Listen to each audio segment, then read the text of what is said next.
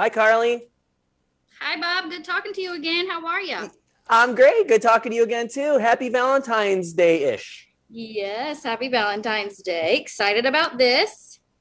Me too. Thanks for having me. Recording in progress. Of course. Okay, you ready to get started? I am. Okay, I'm going to do a quick intro and then I'll start with the questions, okay? You got it. Ready. In in three, two, one. With so many of us masking and keeping our distance, 2021 was a tough year for romance. But former Bachelor and Bachelorette contestant Bob Guiney, now married father of two, is here with some advice on how to make a great impression and how to recapture and keep the romance alive. Bob, welcome back to My Carolina. Yeah, thank you so much for having me. I appreciate it. Absolutely. Okay, so we all know Valentine's Day is right around the corner. So if people are trying to create the perfect romantic atmosphere without spending a fortune, how can they do that? Yes, I have got it for you. We're keeping it simple, we're making it delicious.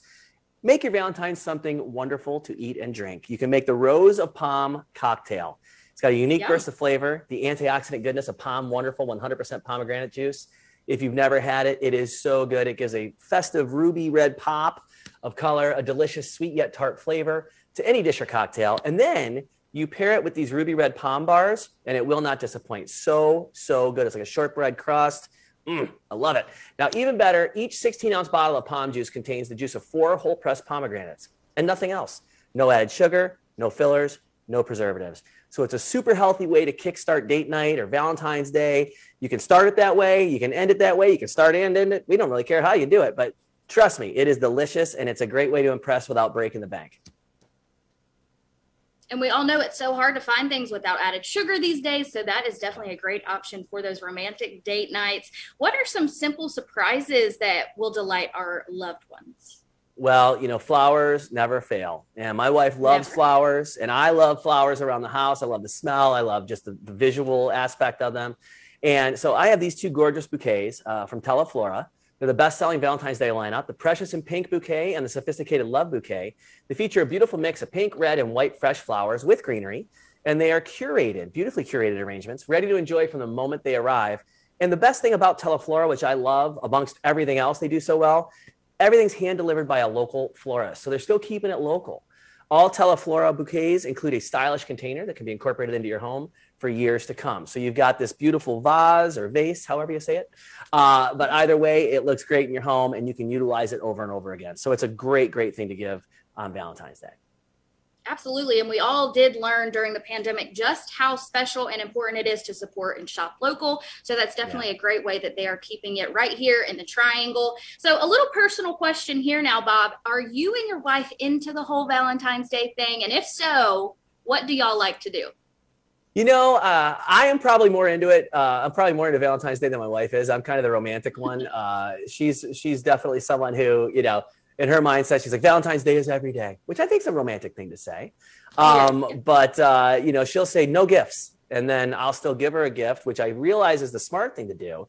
And then she kind of holds You're to right. that no gift thing. So I, you know, I'm trying to figure it out. Uh, we've only been together 10 years, so she's still a mystery to me. But um, one of the gifts I'm giving this year, which I think she's going to love, is the Gimme Beautiful Freedom Curling Iron. Now, this is amazing. It's a wireless curling, curling iron. It gives you freedom.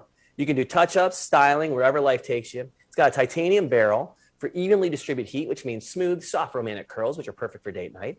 And it's got the longest lasting battery life for up to 45 minutes of styling. So you can plug it in, continue to use it while you're charging it. When you pull up in front of a restaurant, you know, get a last minute tweak there.